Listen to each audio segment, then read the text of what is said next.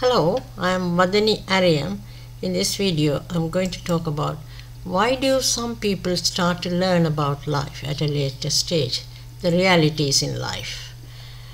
Why do people think, why do people lack thinking power? It may be due to a carefree life, never think about what's waiting for them in the future. There, some people struggle for money when they need it because they wasted most of it in the past without saving. Wasting money means knowingly spend on unnecessary things or spend it on something with the hope that will help them.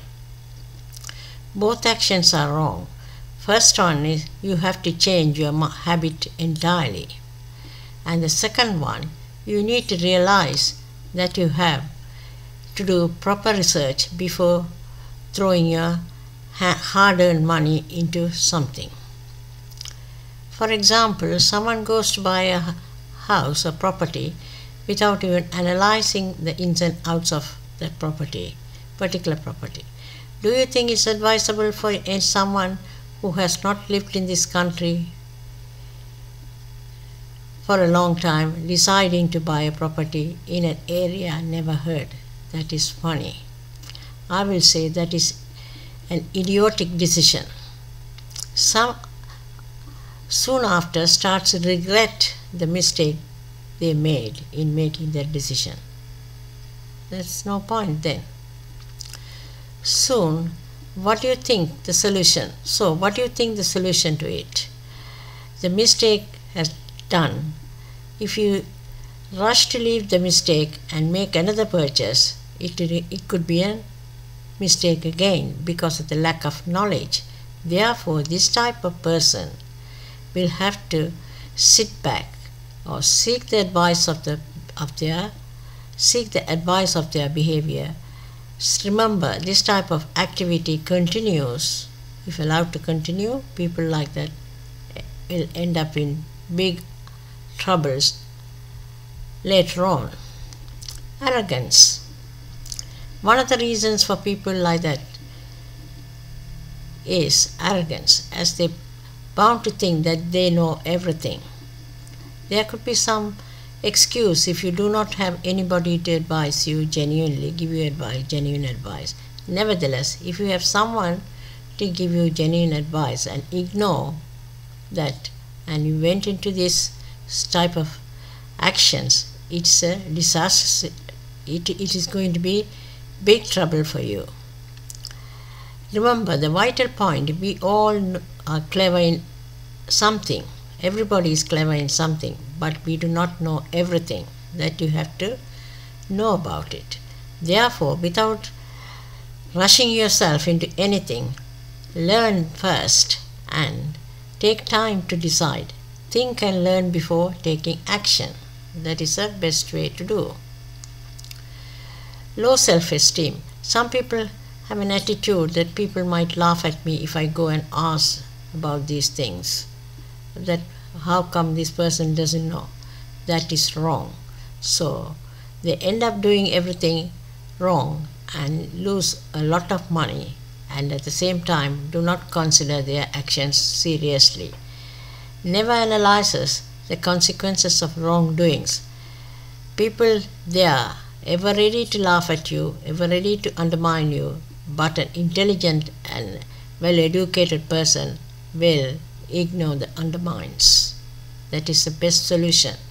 Just people around you are all the time ready to laugh at you.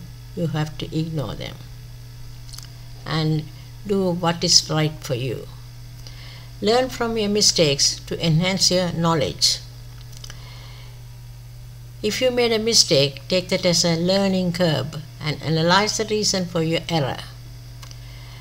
Do not even think that no one is affected by it, only you. But remember, the ones around you will get change, will get change one day. That results, that results in hatred towards you, and you will lose everyone around you, becomes lonely. Therefore, account for all your mistakes and find solutions, but the crucial thing, not to keep repeating them. try to find the try to find the solution for your errors. It is ignorance. Try to find this sorry, try to find the reasons for your errors. Why did I make this error? Because I'm ignorant, lazy, and does not care attitude. Take immediate action to change my, yourself. I got to take the immediate action to change myself. I cannot continue like that. If I continue, I'll end up in a big disaster situation. Have a plan of action for the future. Owning up to a mistake is one thing, but you cannot end it there. Yes, I have made the mistake, I made so many mistakes, but you should not stop there. What you do next is critical. Instead of standing there waiting for someone else to clean up your mess, after you have solutions, clean up your mess and after so it is even better if you can tell your boss whoever the specific steps that you have already taken to get things back on track moreover do not ignore the mistakes in your personal life find a way to stop happening again so that it will not harm your family who is around you need to have patience if you want to avoid mistakes in the future, the best way to learn the reasons to prevent to prevent you from doing the same thing. Say for example, if you decide on a big purchase, easy to use the credit card and complete the purchase. That's easily done. You have got that thing. But you have remember you have got a big big debt out there. Nevertheless, think about the consequences you might face if a situation comes up that you cannot pay. Therefore, you should have avoided that purchase, wait and make savings and then plan your expenses. The bottom of all that, to have patience and not to rush into anything, especially the big purchases which are not, which are not in immediate need. Therefore, I conclude a careless and carefree living will put you in so many disasters in the in life.